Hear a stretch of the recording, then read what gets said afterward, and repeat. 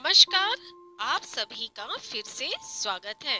Kavita is here आप सब के लिए अनदर न्यू इन्फॉर्मेशन लाया है। वे भी एक और शानदार ट्रॉफी विनिंग चांस तो चलिए वीडियो स्टार्ट करते हैं।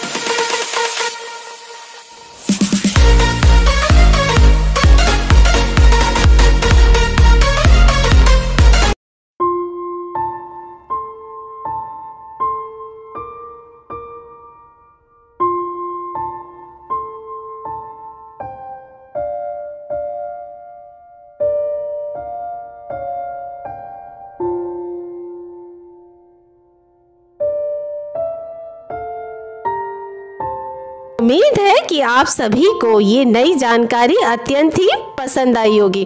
तो प्लीज़ इस वीडियो को लाइक करें, ज़्यादा से ज़्यादा शेयर करें और अपना फीडबैक कमेंट सेक्शन में ज़रूर बताएँ।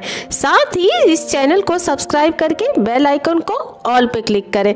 तो मिलते हैं फिर बहुत जल्द एक न्यू इन्फॉर्मेशन के साथ। टिल देन अपना बहुत ध्यान रखिए। Thanks for watching and stay connected for